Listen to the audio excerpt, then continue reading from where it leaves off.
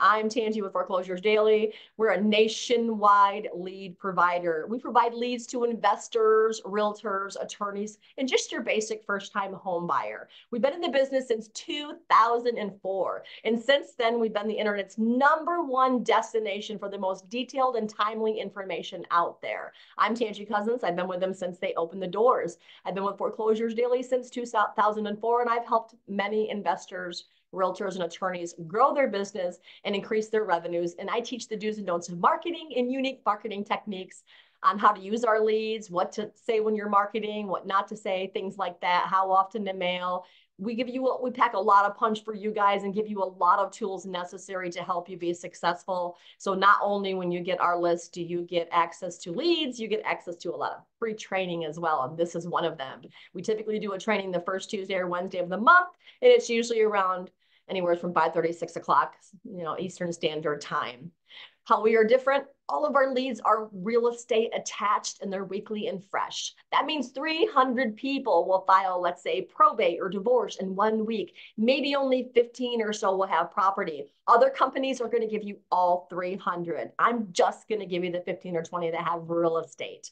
Most companies we found are quarterly, so you're getting very old leads. And by the time you get to them, they're gone, old, and sold. We understand the importance of having fresh data that's physically farmed for real estate. And just some of the leads that we do, we do probate, pre-probate, inheritance, code violation, eviction, and divorce. So that's every single Wednesday, you guys are going to have brand spanking new leads to go after. Probates and pre-probates by far, guys, are honestly some of the best leads nationwide you will ever get. They have the most equity. They typically don't mind taking a discount and they're extremely motivated to sell people are almost always 60 and 70 years old when they lose their parents. So they typically do not want the property. And you end up with a very motivated seller, and you can usually get the properties for deeply discounted wholesale pricing just had somebody make $80,000 on wholesaling a probate lead in Hillsborough County. And like a month before that, somebody made over a hundred grand. People are making a killing on these leads, guys. Code violations are really good too. You're dealing with grown up grass, overgrown trash and debris means the properties are typically not being maintained. So that becomes a really good lead as well. Evictions, you're dealing with a lot of tired landlords. And guys, we have a max of 25 leads a week for one county, one list. I know that sounds like a small amount of leads, but when you work these types of leads, you're going to get a small group of people, but you're going to yield massive responses, guys, massive revenues to working these types of leads. The competition is real minimal, especially with probate and pre-probate a lot of people have a lack of knowledge when you work these types of leads and they think oh you know i don't want to work probates it's too soon after somebody passes and you know um, you have to wait for the whole probates to finish before you buy. Guys that is not true. In most counties and states you can purchase almost right away. Even if the judge um, hasn't you know the judge typically will sign off on the property. Even if the summary administration has not been filed they can file like an affidavit of heirship the judge will typically sign off on the property relatively quickly. So it's not this huge long process like people think. But because people think that they won't work it. Guys, you get a lot of bonuses when you purchase leads through us. You get postcards, you get letters, you get a six-step mailing campaign. We even mail you, physically snail mail you, Probate Real Estate Sales 101, and it's written by the author uh, Kevin Sales. You can actually you can actually find that on Kindle too. When you purchase the leads at Foreclosures Daily, we send you this book, and we actually know the author. So we did a webinar um, of him teaching the seven ways to make money with probate real estate investing. We'll share that with you too. Guys, we give you deeply discounted rates for purchasing um, the these products through these companies. Like this one company that does the mailers for you, they only charge 38 to 42 cents with postage to send your postcards. Most postcard companies will charge a dollar to a dollar 20 to send that postcard with an actual street view of the property. People are getting massive response rates with these. The national average response rate is like a half to one and a half percent. I literally have people getting three, five, 10, and 15% response rates with these types of leads Also, if you want to do more of a personal touch, we have marketing by hand. Guys, they do an awesome job and they actually do everything by hand. It's a little more expensive, but you're getting that personal touch and handwritten letters with these types of leads are very, very, very good. Some of the bonuses, like I said, that you get are right here. We give you phone scripts. We even write an email to send to the attorney for you. Like we even write the email for you that you can send to the attorney expressing interest in the said property. So that, the postcard cards, the letters, a skip tracing company with deeply discounted, reduced rates. So we give you webinar trainings, and every month we have a nationwide speaker throughout the nation to teach you free content for absolutely nothing, such as the one coming on tonight. And guys, I'm going to tell you about our bonuses right now because the webinar is going to be cut so short. I want you to know that for anybody who stays on this webinar till the absolute and we're going to be giving some good bonuses away. You're going to get a free county just for purchasing leads and being on this webinar. We can tell if you've been on the webinar the whole entire time. So make sure you stay till the very end because anybody who purchases a six month subscription or a year subscription is going to get a free county. So you can purchase probate or pre-probate or inheritance or code violation. One of these lists for at least six months or the year, and you do get a free county just for being on this webinar tonight and staying till the very end. Guys, thank you so much. Now I'm gonna go ahead and put Lawrence on immediately. And while I stop sharing my screen, he's gonna start sharing his. Guys, let me tell you a little bit about him. I personally had the honor of knowing Lawrence personally for many, many years now. Um, he actually runs Go REIA. It's you know the the uh, real estate meeting over there in uh, Altamonte Springs, and he'll tell you a little bit about that, I'm sure. Guys, since 2003, he's been investing, and he's bought and sold over 1,000 properties since 2003. And he's actually wrote a real estate investing book called The Art of Acquisition. Guys, without further ado, I'd love to go ahead and introduce you to, nonetheless, Mr. Lawrence Malloy. So glad you were able to get on tonight. Go ahead and show your video and unmute yourself, Lawrence. Hey there. How are you, buddy? There we go. Here we go. Got it working out. What's going on, guys? How are you doing? Thanks for being on tonight. We really, really appreciate you. We waited for years to get you on one of our webinars. He finally said yes, and here he is, Lawrence Malloy in the flesh. And I'm going to let you take it from here, buddy. We appreciate you so much. And guys, Lawrence has been using our leads for years now, and he's had great success on foreclosure daily leads. He probably don't want to tell you that. Um, so, you know, the last thing he needs is competition, right? No, no, not at all. So, uh, you know, obviously, uh, one of the fortunate things, Tangi, first and foremost, I wanted to say thank you for having me on here. Thank you for allowing me to spread my message to your audience. And yes, indeed, I do use leads from Foreclosures Daily. I have for a long time now, a few years. Uh, funny story is when I first got started in the business, I used Foreclosures Daily leads 20 years ago and I uh, went for a period of time where I wasn't using them just because we are using other various marketing methods. And as of several years ago now, I started using them again, and we're closing a lot of deals. Uh, but there's two things. One is the information, the data, and then the other thing is knowing how to work that data, knowing how to work a lead, knowing how to convert a motivated seller to actually saying, "Hey, we want to invest in you and sell." You are property. Uh, so there's a couple things there, but yes, absolutely, Tangi, your data. We close deals using your data, so I appreciate you having me on here. And that's why actually why I hopped on here is because uh, anytime I'm using someone's service or um, something, one of their um, services or whatever, I have no problem hopping on and supporting them. So that's why I'm on here today. So thanks again for that. Thanks a lot, Lawrence. I'll let you take it from here. All right, have cool. A, have a, so, have a great evening, guys. I'll talk to you in a little bit. Sounds good. So, welcome, welcome, welcome, everybody. Uh, my name is Lawrence Malloy. We're going to hop right into it. Uh, our my presentation tonight is uh, something that's a little bit interesting and, and it's different. And the, the reason why I say it's different and interesting because everyone wants to talk to you about how do you find a property, how do you lock up a deal, how do you wholesale, flip a property, do all this other things. But at the end of the day, once you're an investor, the sooner you understand about leveraging different different things in your business, um, you will understand that it, it in order to grow a business, it's going to take people. It's going to take you bringing on the right people into your business.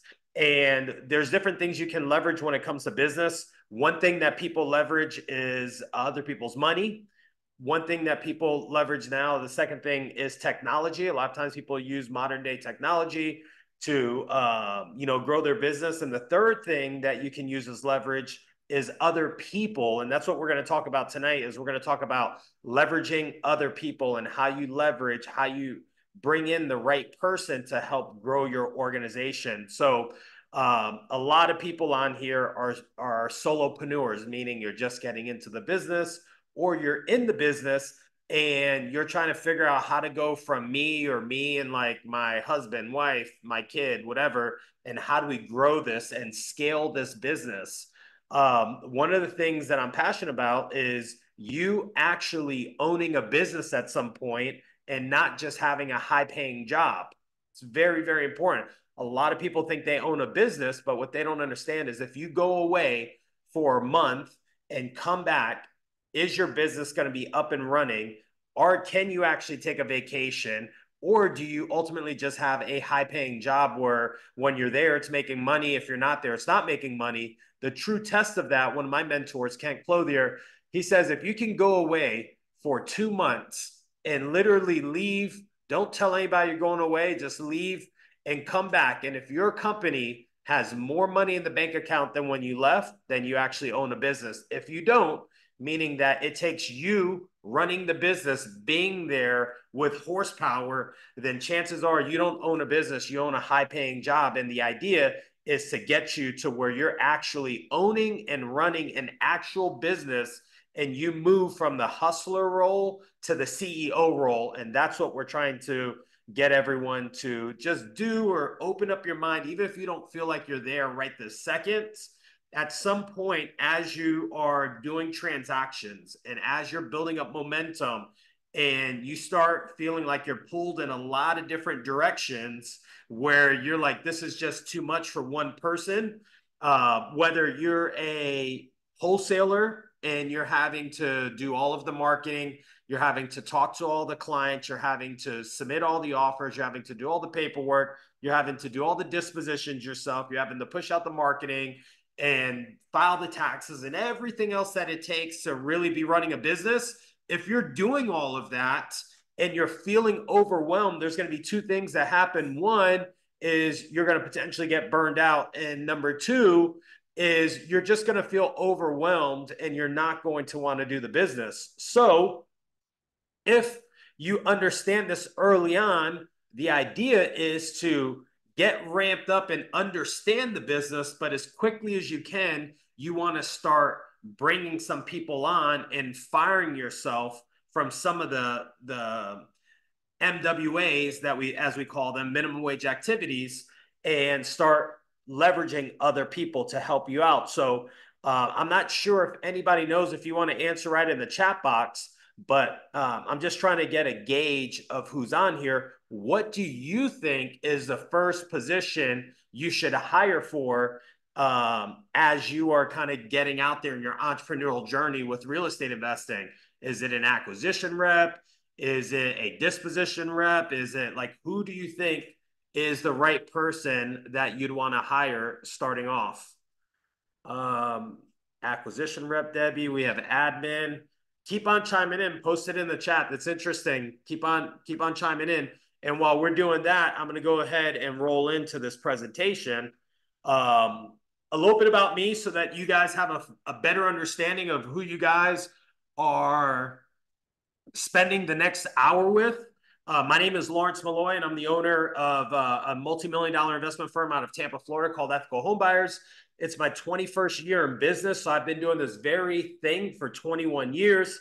Uh, I'm a national speaker, consultant to high-level investors that want to scale their business, take it to the next level. I also own the Greater Orlando Real Estate Investors Association. I'm on the board of directors for one of the top masterminds in the entire country it's called the Boardroom Mastermind. If you guys get a chance, look it up. We're uh, we're having our quarterly meeting actually next week in, in less than a week. I'll be in Costa Rica at one of our uh, quarterly meetings. Um, I wrote a book on real estate investing called The Art of the Acquisition. I bought and sold over more than a thousand properties from as low as three thousand to as high as two million dollars. And I've been coined the acquisition artist because I've been able to lock up deals a multitude number of ways and been able to negotiate and put these deals together that are not all cash deals. We got seller finance deals, we got subject to, we got everything all across the board. And uh, I've been able to do this over the past 21 years and, and have quite a bit of success. So uh, that's the reason why Tangi asked me to come on today. And that's the reason why I'm standing in front of you guys uh, or I'm sitting in front of you guys on the computer today. So I hope you guys lock in. I think there's around 45, 50 people on this call. And uh, one thing I will assure you of grab a pen, grab a piece of paper, and lock in because I'm pouring into you guys tonight. I want to make sure that you guys are taking notes.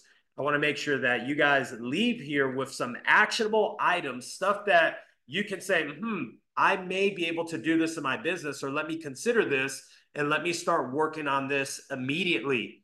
The difference in people that are actually going to make something of their time tonight while you guys are on here, the biggest difference uh, with the people that are going to do something is the action takers.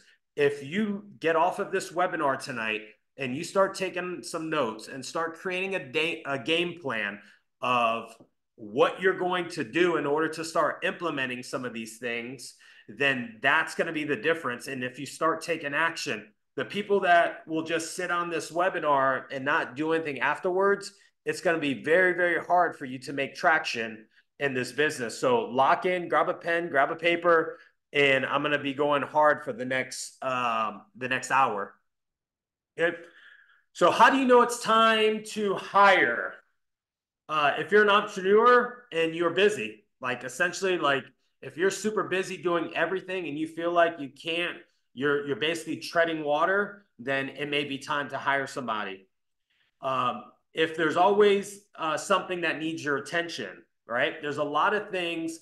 So one thing about my business is I will go away from time to time, whether it's a mastermind, whether I'm on vacation, whether I have to attend to some of my um, other businesses that are real estate related. And my main business, my investment firm, still operates whether I'm here or whether I'm not here.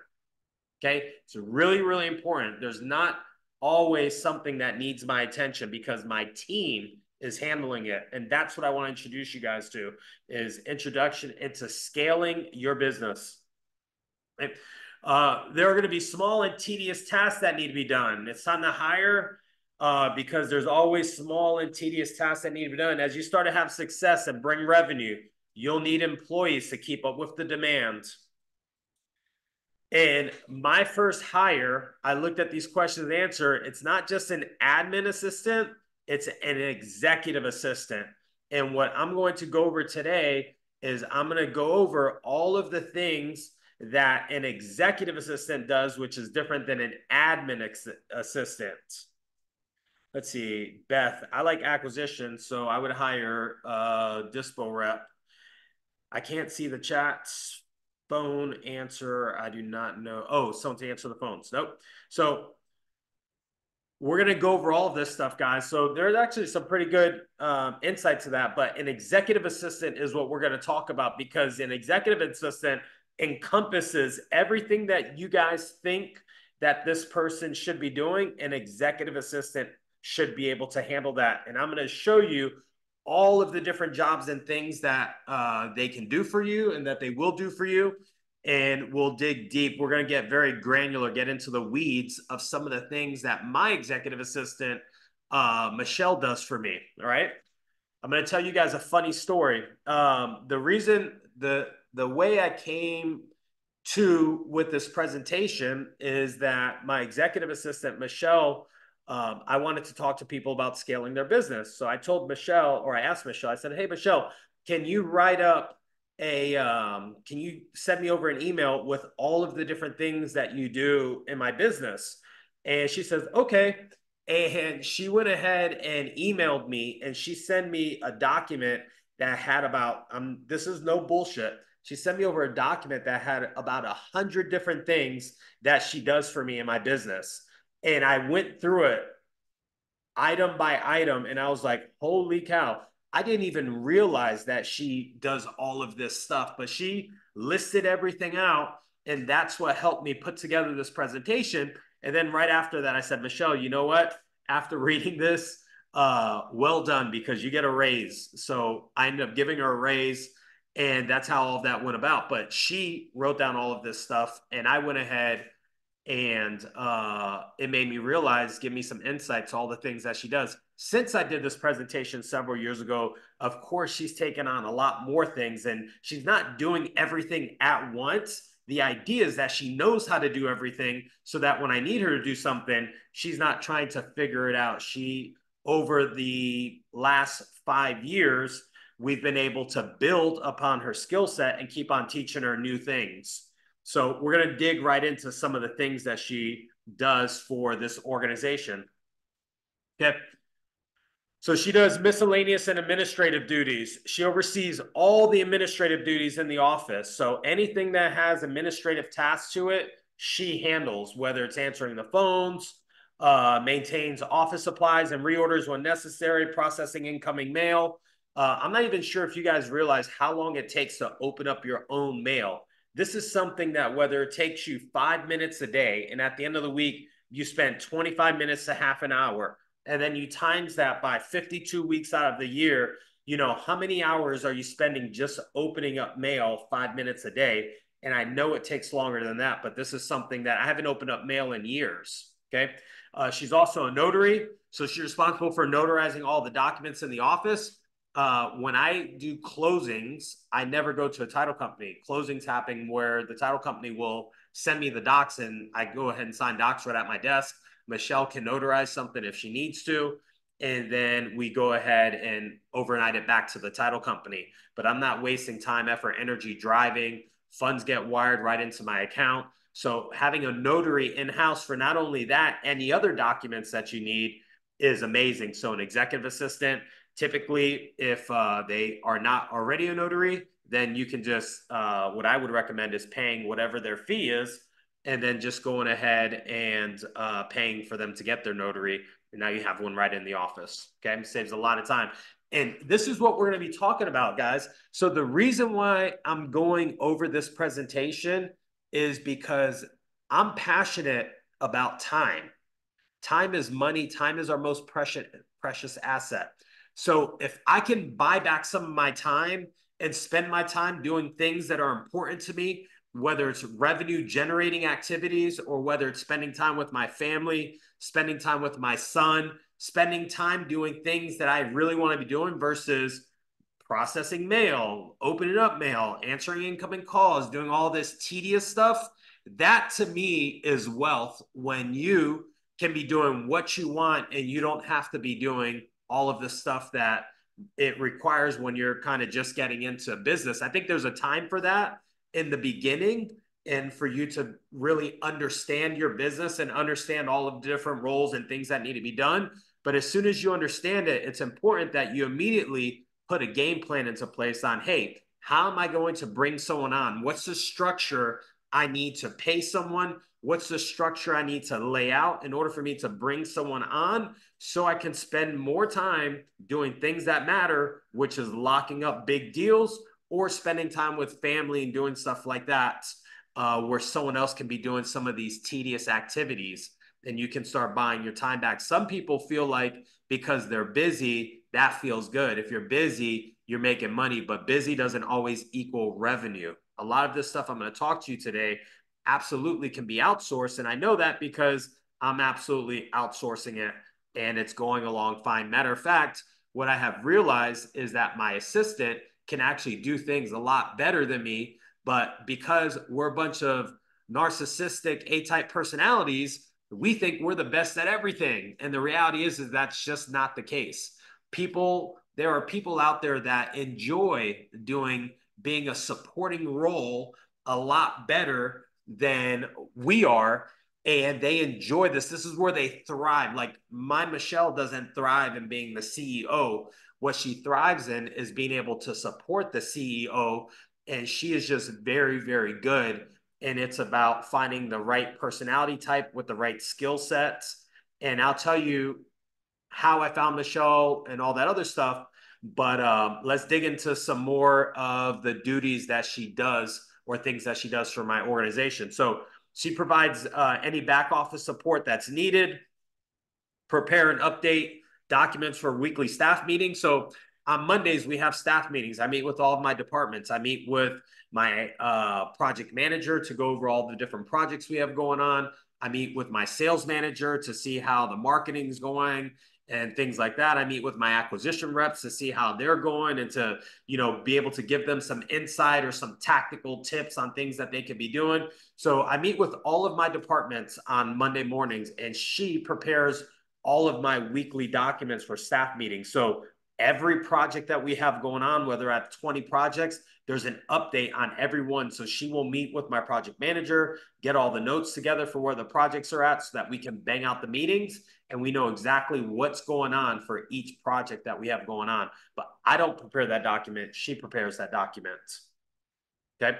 Um, also, the difference between an administrative assistant and an executive assistant is an executive assistant is typically like 85% business and then 15% personal. So if I need her to run any personal errands, uh, dry cleaning, if I need her to run to the bank for something, if I need her to pick up some lunch, if I need her to do any of these things, she will be that person that knocks that out and, you know, runs any personal errands. So that's a very, very important thing. The biggest difference between an admin assistant and an executive assistant is it is expected that an executive assistant is going to do some personal stuff.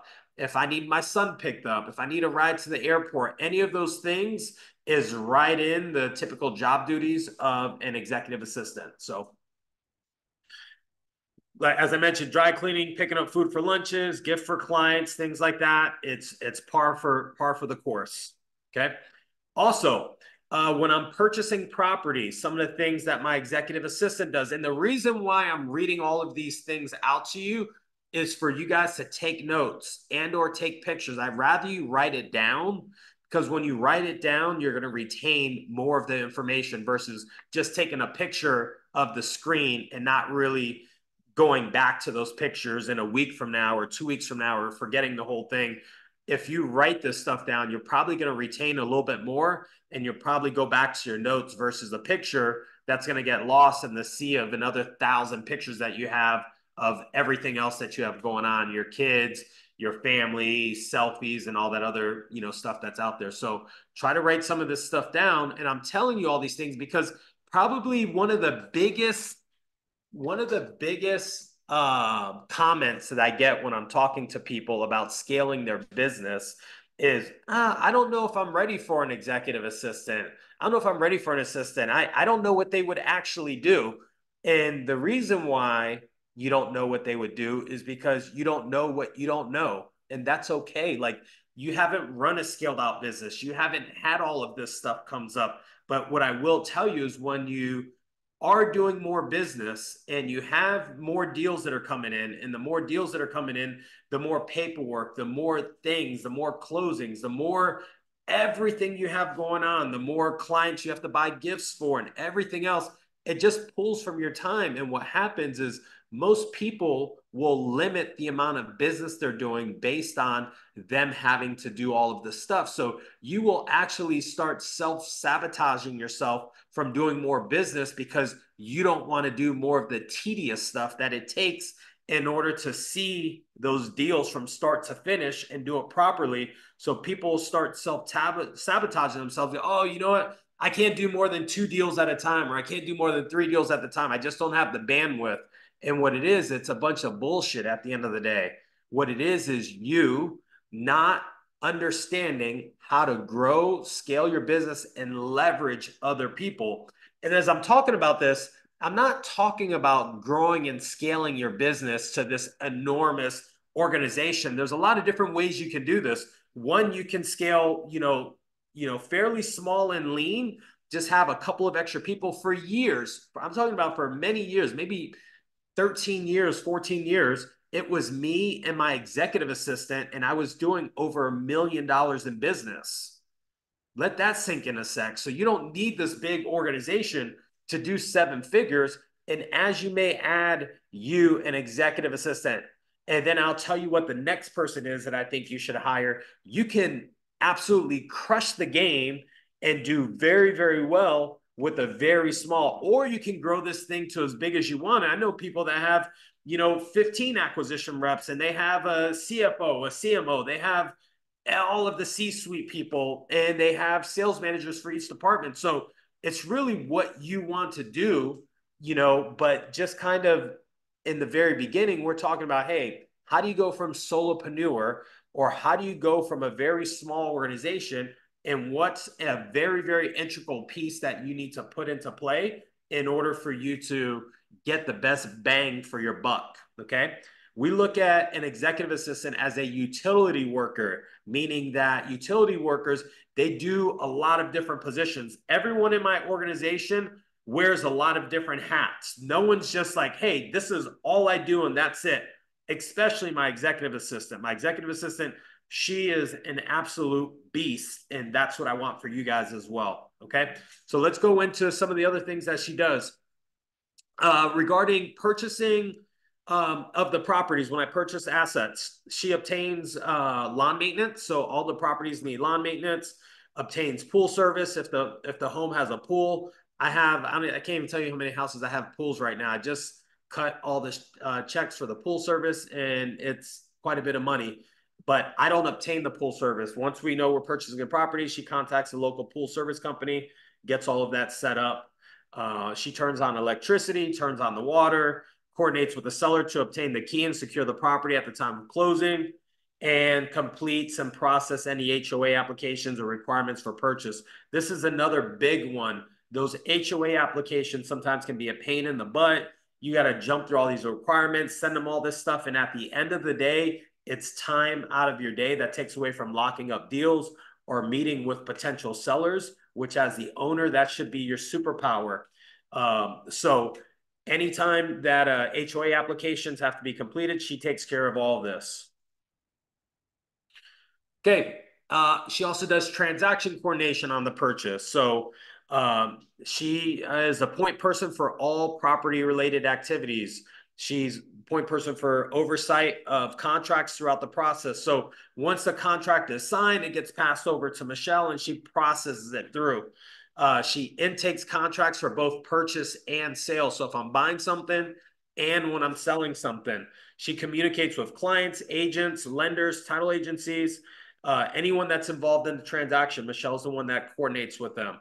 And when I say clients and agents, let's say um, we're doing a transaction and sometimes most of the time we buy direct from direct to seller but there's a lot of times where we will buy from real estate agents and then she has to coordinate all of that with the agent.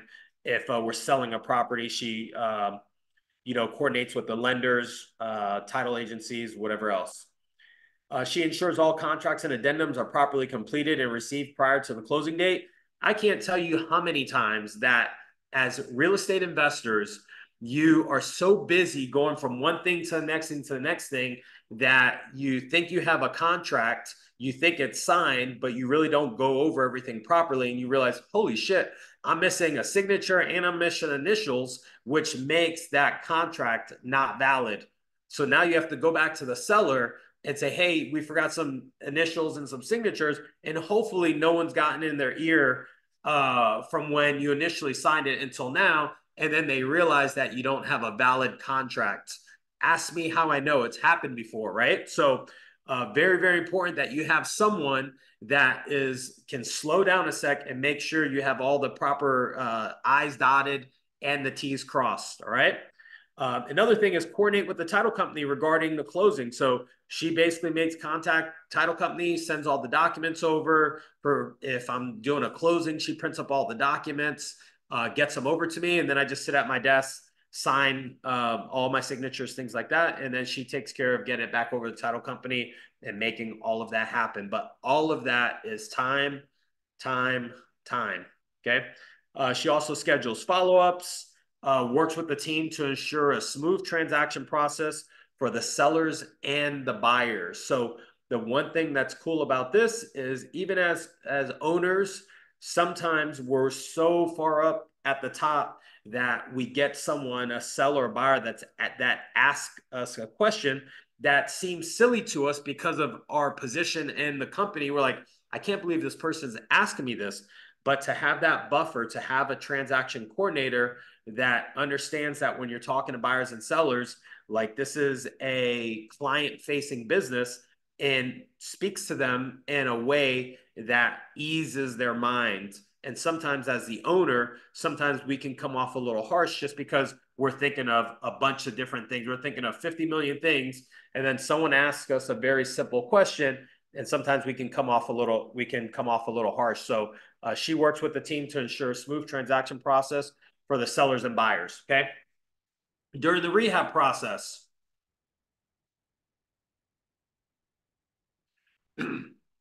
my girl Michelle schedules the walkthrough of the property. So essentially, how this goes down is um, before we start any project, um, we will purchase the asset, and then I typically go over there with my contractor and Michelle, and we have to schedule a walkthrough. We schedule a walkthrough so that I can just I literally go there one time. Sometimes I don't even go to the property. We can do it off of pictures. Uh, but I'll go over there one time and we do a one time walkthrough. My contractor's there Michelle's taking the notes so that we can write up the scope. And I just point out, yep, needs carpet, needs paint. We need this kitchen redone, these cabinets redone. We need this countertop, and we'll walk through the property one time. But she sets all of that up. Uh, she creates a scope of scope of work with a contractor. Um, provides independent contractors agreement to ensure that it's signed prior to any work being started. I know out there right now a lot of people are missing this step, and this step is making sure you have a independent contractors agreement that is signed by the contractor prior to any work starting. Okay. Um, I'll tell you this for everyone that's on this call. I own the Orlando, uh, Greater Orlando Real Estate Investment Association. It's called Go REIA. And we meet on the fourth Thursday of every month. And one of my mentors, Robin Thompson, years and years ago, I'd say maybe, I don't even know, 10, 14 years ago, somewhere around there. Uh, Robin said, Hey, uh, are you using independent contractors agreement? I said, No, what is that? And she's like, You need to have this in place so that um, you can protect yourself from contractors. Uh, it just so happens that Robin is going to be my guest presenter at this upcoming month's REIA. So this upcoming month uh, REIA meeting, it's in Altamonte Springs in Orlando. And if you're able to come, she's going to be presenting on basically uh, how to rehab properties. She's going to come in and she's the one, I was in the business for nine years, and she's the one that really taught me how to rehab properties and how to control your contractors and make sure that they're not getting over on you. And one of the ways that we do it is using this independent contractors agreement. So She's going to be talking about that, and she's coming. Let me just look at this date. They will be there. One, two, three, four. Our next meeting is on April 25th. So if you're in the Altamonte Springs area and you go to goreia.com, you can RSVP for that meeting. It's free for first time guests. Most people end up getting an annual membership. It's only like 159 bucks for an annual membership. You can come to all of our meetings.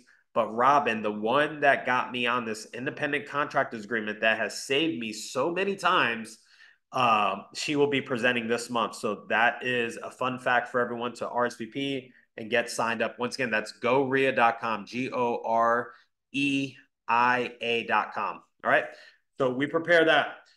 Uh, she also works with the project manager and performs oversight and perform oversight of the process to ensure that timelines and work is being completed as scheduled. So she understands exactly where the process should, the rehab process should be. So she makes sure when she's talking to the uh, project manager that the process, the project is moving along. Um, she maintains details regarding the rehab of the property as well. Anything that comes up, um, hey, we're this far along in the process. They just installed cabinets in our weekly meetings. She'll take notes and she, you know, documents everything and where we're at in the process. Okay. Uh, when we're getting the property to list, so if we buy a property and we fix it up, we rehab it, and now we're going to sell it, she also oversees all of that busy paperwork stuff, which is ensures the property is cleaned, final walkthrough repairs have been completed. She obtains quotes and schedules staging because we stage all of our properties. Uh, she schedules professional pictures, so calls up the photographer schedules them to go out there, take all the pictures. She prepares the listing paperwork in accordance with the, uh, you know, I have my real estate license with RE/MAX. So she makes sure that all of the proper paperwork is filled out. And then she inputs the listing pictures and any supplemental documents, addendums, anything into MLS. So all of you guys that are doing all of this yourself, shame, shame, shame. You should not be doing this stuff. When people ask me, well, I don't know if I can afford an executive assistant. I'm like, I don't know how you can't afford an executive assistant. If you don't do it sooner than later, then you spend all your time doing busy work and you never get yourself out of the rat race. The sooner you hire someone, the sooner that you can focus on locking up an extra deal or two or a couple of deals, which is going to far outweigh what your executive assistant is going to cost you. And you're going to have a way better quality of life because you're not doing all of the busy stuff that it requires in order to operate this business properly. Very, very, very important. Uh, give me one sec. I think some questions came in. When you say incoming calls, I'm assuming general business calls, or she answer inbound marketing calls too. William, I'm going to stop right here and answer this question. Um, Yobel, I know you'll definitely be at the next meeting. Great to have you on here, bud. Uh, William, to answer your question, so she answers all incoming calls. So um, when I first was going, when it was just me and my executive assistant uh, years ago, um, there's actually a funny story. She, I taught my executive assistant the way that I worked it is anybody that called in incoming calls um, for leads. So I taught, I used to have a lead sheet, which I still do. And when people called in, I would just basically go down all the questions on the lead sheet. Hey, what's your name? What's the address, property address, all this stuff? Why are you looking to sell the property? You know, tell me some of the condition about the property, some of the things going on with it. And I'll ask them how much you owe on it, how much you want for it, all this good stuff. Then um, I was like, I'm not going to pass this off to my executive assistant because no one can build rapport as good as I can. No one can get all of the information out of these people like I can. No one can convert this deal like I can. And I used to always think that dumb shit. It was literally the dumbest shit you can think about about how you're the best at everything. And what you realize in business is one, you're not the best at everything. You're typically really, really good at maybe a couple skill sets but in business, there's just so many different things. You're not the best at everything. People are just control freaks and you have a hard time letting go. Another thing you got to realize is sometimes done is better than perfect. So as long as it's getting done, it doesn't need to be perfection.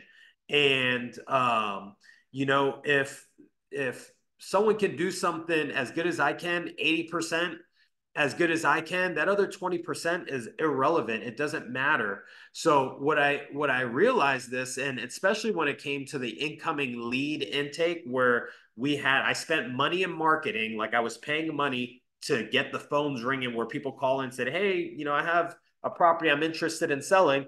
And I thought, hey, no one's going to do this sheet better than me. I'm the best. And the reality is, is my assistant is a sweet voice on the other end of the phone, very friendly, very polite, very, um, very, very good at building rapport.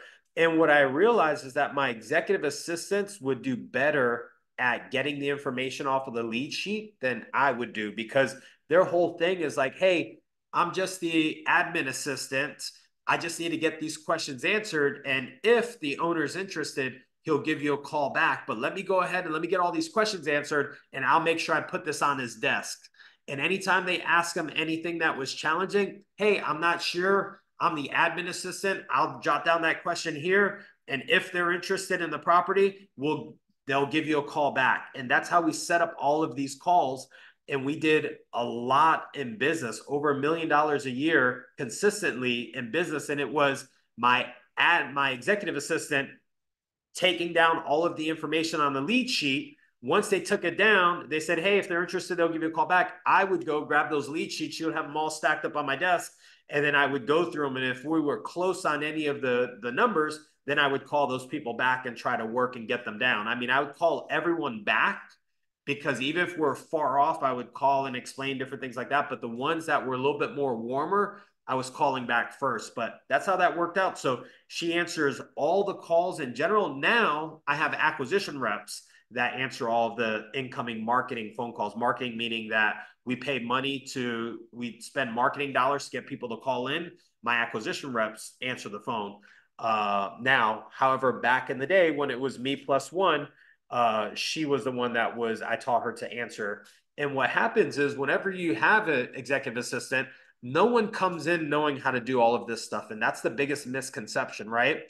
No one comes in knowing how to answer all the phones properly, build the rapport, do all of the marketing materials, do all of the transaction. No one knows how to do that. However, if you find someone with the right characteristics that you that's that has a great attitude with an eagerness to learn a willingness to learn and is a hard worker you can teach them how to do all of these other things and that's very very important for you to understand my executive assistant, everyone asked me, Where'd you find Michelle? Where'd you find Michelle? And I tell everyone I didn't find Michelle. I built Michelle. And what I mean by that is she had the right characteristics, she had the right pedigree. And then I taught her all of the things that she needed to do based on how I did them. And she picked up and learned.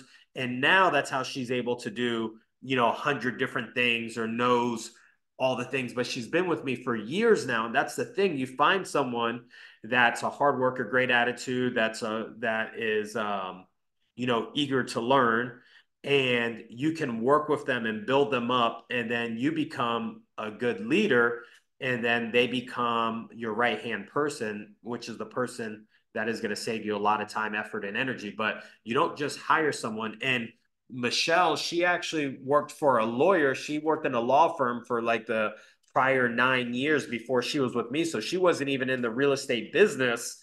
And my first thought process, and it was the scariest hire, I'll tell you this. Uh, I had to pay her more than I paid anybody else up to this point.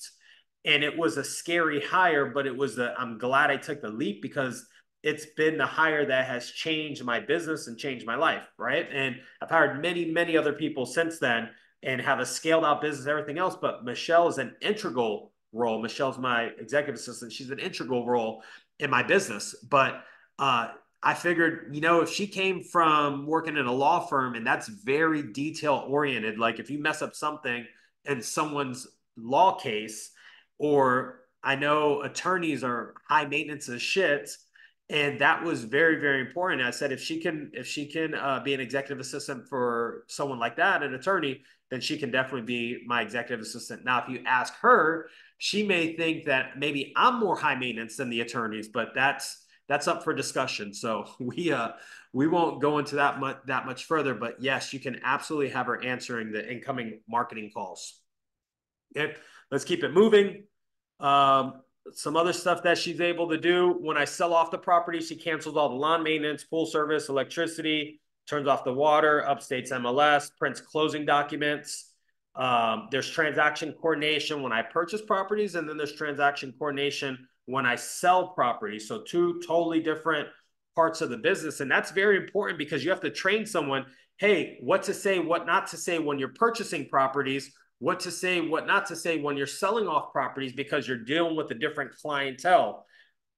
How we buy properties is not how we sell properties. How we buy properties from, you know, sellers, uh, direct to seller agents or wholesalers or whoever buying them from, um, we do not uh, sell them the same way. So it's important that Michelle or whoever you're doing your transaction coordination can understand how to wear the different hats and the different roles that we play.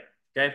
Speaking of buying properties from wholesalers, uh, if you're on this call and you are a wholesaler and you're looking to sell assets in the Tampa Bay area, I buy properties in six counties. We've been in business 21 years, buying a lot of properties from a lot of different people. If you have properties in the Tampa Bay area, whether it's uh, I buy in six counties, so it's Hillsborough, Polk County, which is as far as I go east from Tampa, Polk County, uh, I think all the way up to Davenport. We buy in Pasco County, which is north of Tampa, Pinellas to the west, and then Sarasota and Manatee counties to the south of us. If you have a property in any one of these areas, please send it over to me, and then we can take a look at it, evaluate it immediately, and and uh, try to uh, either uh, meet your number or we'll go ahead and present you with an offer of what we potentially can pay and maybe you can we can work it out or sometimes people go back and renegotiate with the seller and try to get that price down. But the best way to find me i'm going to tell you this right now and i'll repeat it at the end but write this down is on instagram.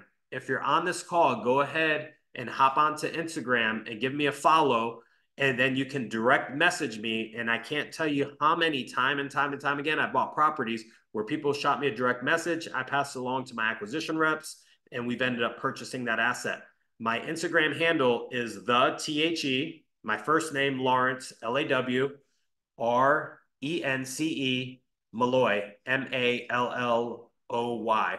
So it's the Lawrence Malloy right on Instagram.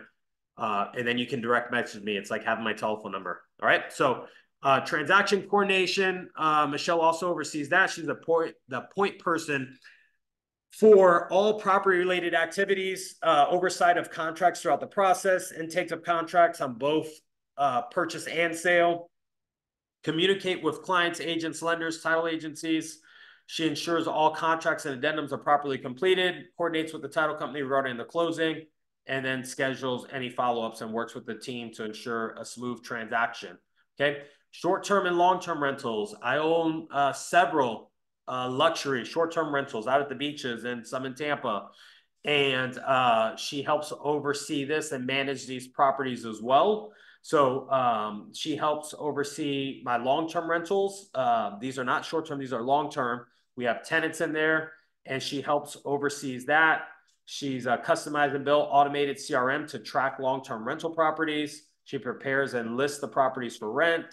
She sometimes set up showings. We have um, automated lock boxes on these doors, but she sets everything up. There's a specific uh, processes that we have, so we don't actually have to go to the showings.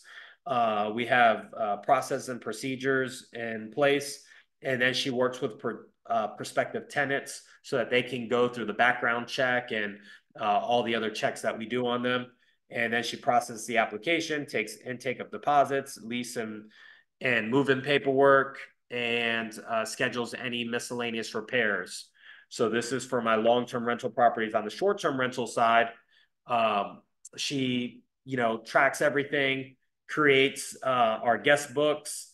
Uh, she creates a listing and maintains the properties for short-term rental websites. She's responsible for troubleshooting uh, any issues, maintaining electronics, ring cameras, entry locks, TV setup, stuff like that. She stocks and maintains supplies at the properties. She works hand in hand with the cleaners. She actually oversees the cleaners and is their direct point of contact. Uh, like I said, hire, trained, oversee cleaners, pool maintenance, lawn maintenance, pest control, utilities, electric cable, all of that stuff. If you're running a short term rental business or have a house or whatever, if you don't have someone, an executive assistant, this is all time that's coming out of your time. Okay. It's very, very important. You can get all these businesses up and running, but if you don't have the right infrastructure to help run and maintain these businesses, you're just going to be spinning your wheels and get burnt out. Okay. Uh, she also uh, oversees any maintenance and repairs. So she'll schedule someone to come out if we have any type of maintenance or repairs that need to be done. And then in charge of all guest complaints and ensuring that issues are resolved. Okay. Um, let's see, tracking properties. She um, has worked to help build a customized uh, CRM. She tracks all properties uh, that we have from inception to completion, maintains all documents for the property, maintains all accounting transactions, payables, receivables, contractors, vendors, HOAs, utilities companies, etc. So I want to make sure people understand that she's not doing all of these things at once. She knows how to do all of these things. So as stuff comes up, she's knocking it out like a champ. So none of this stuff is like, hey, all of this stuff is done, has to be done every single day. This is like, if we have this thing going on, if we have this new transaction, there's processes and procedures in place so everything gets knocked out fairly quickly. Okay. Um, for the REIA meeting, the Greater Orlando REIA meeting that I was telling you guys about, uh, she maintains the speakers, all of their information. She maintains, uh, oversees the meetings, accounts receivables and payables, uh, maintains the Go REIA website. So if we have speakers, she posts all the speakers, all of our business vendors. If we have a monthly business vendor that provides the food, she handles all of that stuff. Um, we have someone else that run it that's running social media campaigns or that has been. Um, she used to do that when I first uh, created this presentation, but she obtains a venue which we meet at um, this Shal Insurance Center on Douglas Avenue. But um, she will send off the check for that. Just all the things that are any type of administrative duties for Greater Orlando REIA. She oversees that stuff, responsible for step and cleanup, work with all the guest speakers, all of this stuff. So if you guys see these things popping up, I'll go back a screen, ensure speaker agreements are executed, works with the speakers to ensure they have all event details. Just a lot of a lot of time consuming stuff, right? So um, she also handles some of our accounts payable. We have a bookkeeper that comes in every single week on Thursdays. matter of fact, he'll be here tomorrow, Fred. He comes in here and she works hand in hand with him to make sure that our books are reconciled and that they have um, all of our invoices, checks are cut, things are paid. I'm not cutting checks. I will sign checks, but between Fred and Michelle, they handle all the checks as well. Uh, review uh, for duplicate invoices and ensure we're not paying uh, the vendor twice, ensures the invoices are priced accurately based on scope of work, prepares and process internal payroll, prepares invoices for employees, uh, writes and cut checks, submits for signature. Uh, Fred typically does some of this. Every once in a while, she will, if it's an emergency, like we need a check midweek when Fred's not here, we typically only cut checks on Thursday, but if something comes up an emergency, then Michelle will go ahead and write, cut that check. She processes uh, the signed checks, uh, log all outgoing payments, scan in uh, copy of the checks and invoice for each property, handles all this stuff. And once again, it's busy stuff that uh, she thrives in this environment. She loves being the support to what we do here. Uh, stuff and mail outgoing payments, which there's a lot of them, unfortunately, but that's what it is when you run a business. Okay accounts receivable. So everyone's always wondering, well, I don't know if I have enough work for an assistant. As you have an assistant, you start picking up more business. More business means there's more things that you're involved in doing. When there's more things that you're involved in doing, if you don't have a good support system infrastructure, it will fall through the cracks. And guess what? Your business will fail. Your business will get hurt because not only are you not going to be doing as much business, but people will start complaining, and that's never a good feeling. There's a reason why uh, we're members of the Better Business Bureau and we have an A plus rating with them for like the past 16 years is because you know whenever you're scaling a business it's imperative that you have good processes and procedures but then you also have a support staff in order to uh, see all of these things through okay uh, so she receives incoming payments. So if someone's paying us for something, she receives those checks, uh, automatic payment receipts, EFTs, ACH deposits, ensures all incoming payments are allocated to the correct property and GNL account. She works with Fred. Fred is the main person that uh, reconciles and does all the bookkeeping and journaling and everything. And Michelle works hand in hand to make sure that all of that is correct log incoming transactions, scan and save to each property's expense, business expense, work with bookkeeper to ensure all transactions are true and accurate and all charges are accounted for and approved. That's a big thing. I can't tell you how many times in business people think, oh, I need to make more money. I need to make more money. And the reality is, is you need to go deeper in your current business. And it's not just about top line revenue, guys. When we start talking about scaling business, everyone's worried about top line revenue, but I guarantee there's so much money that's lost or missed within your business that you're not even realizing. And that's a really, really big thing in in business, especially in this business where people think I need to do more deals. And the reality is, is you don't have the right support system and stuff is falling through the cracks more importantly, not stuff, but money is falling through the cracks. I guarantee if you don't have a good bookkeeper, then and your and your books aren't getting reconciled or your bank account's not getting reconciled, that you probably have some fraudulent transactions in there that you haven't even realized just because you're too busy focused on top line revenue. So these are just things that when people spend time with me, um, as I mentioned in the very beginning, I do consulting for a high level investors. High level means people that are looking to scale their business, that are looking to um, grow their business. and I consult with them. And these are things that we talk about in consulting. It's not just about top line. We talk about that, but most of the time, business is lost uh, because you're not focused on the transactions and things that are going on within your business. And most people just don't know what they don't know. You get into this business because you're a hustler and you can create things. You're a good salesperson. You can lock up a deal, you can wholesale a deal, but to actually grow a business is a completely different skill set. So if you have some interest, if you're on this call and you have some interest of like, hey, how can I grow my business? I would be interested in talking to you about consulting possibly uh, with me and my company and my organization, um, you're more than welcome. Once again, reach out to me on Instagram at the Lawrence Malloy, and we can uh, hop on a quick phone call and see if there can be some synergy and see if it's a fit. But I guarantee there's a lot of money that is uh, unrealized that's in your current business. Okay.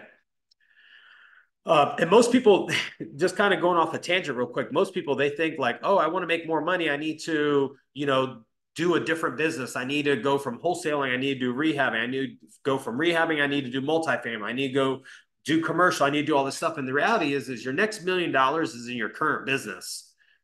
I'm going to say that more time. Your next million dollars is in your current business. You're just not going deeper or wide enough in your current business to understand it all in order to really realize that next million dollars you need some you, you need some guidance and some support to say, hey, what about this? Look at this. I've been there.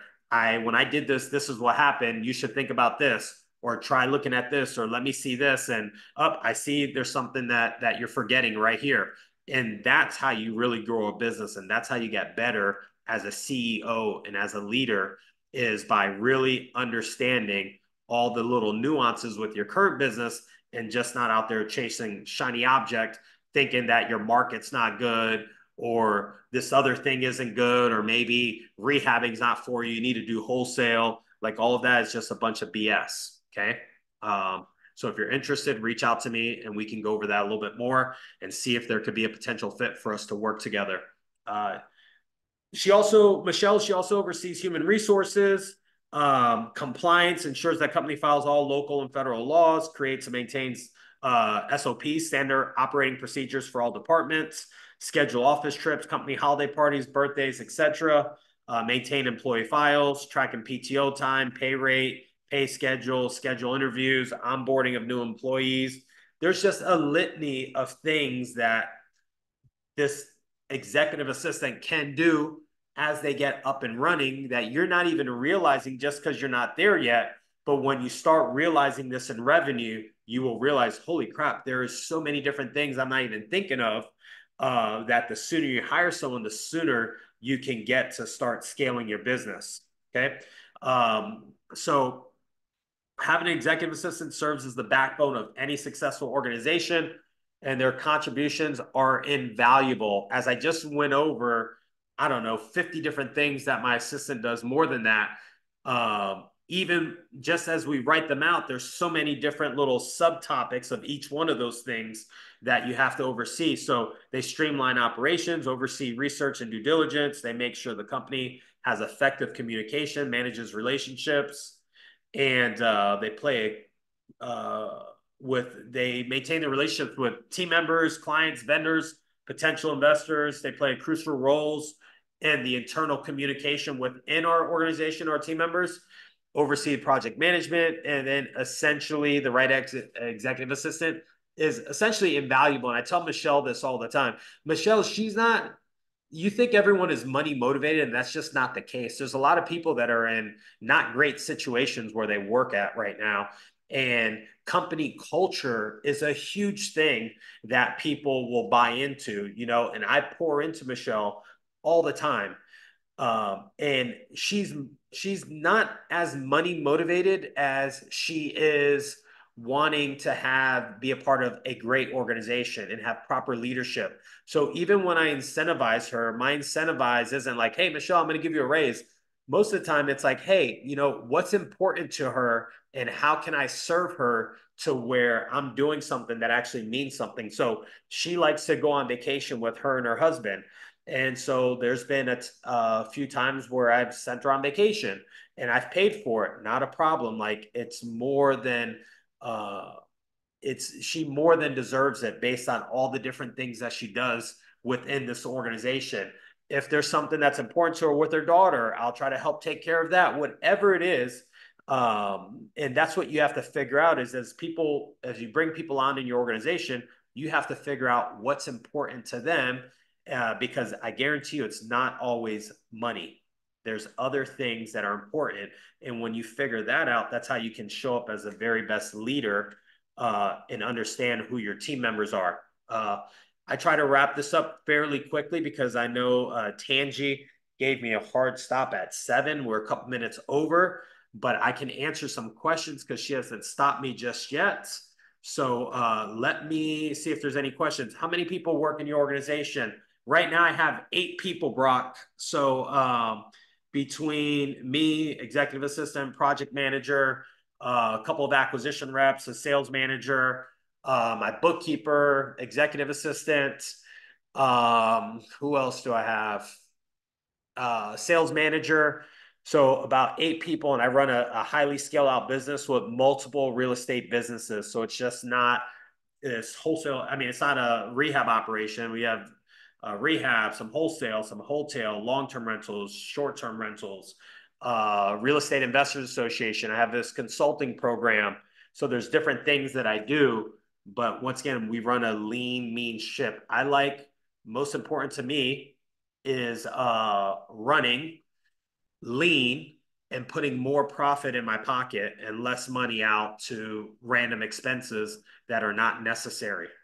Okay. It's at the end of the day, everyone wants to talk about, oh, I did this, I did that. It's like, how much money are you putting in your pocket? And are you going deep in your P&L and looking and seeing where all that money is going to and really understanding it? So really, really important. Do you use AI software tools to automate anything? I do not at this time. However, I do think that automation is a huge thing. And I excuse me, AI is a huge thing. Automation, we have some things that are automated, but not AI automated. But obviously, I think that's a big part of the future. And no matter what business you're in, AI is going to affect your business.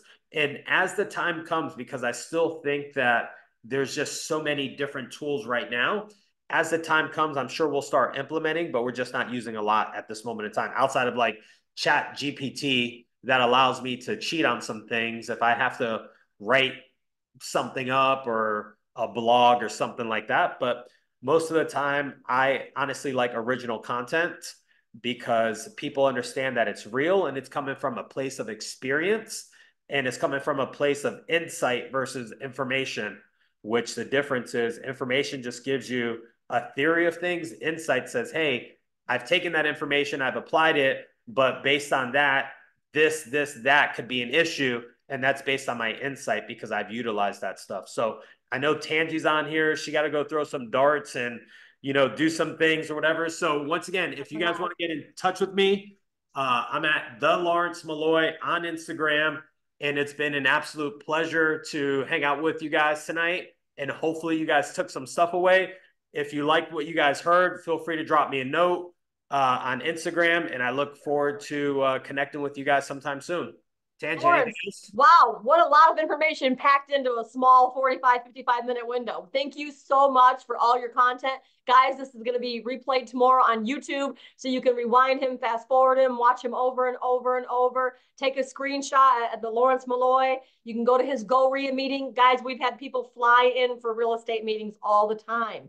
Lawrence has a meeting every single month. It's the fourth Thursday of every month in Altamonte Springs. It's Go REIA.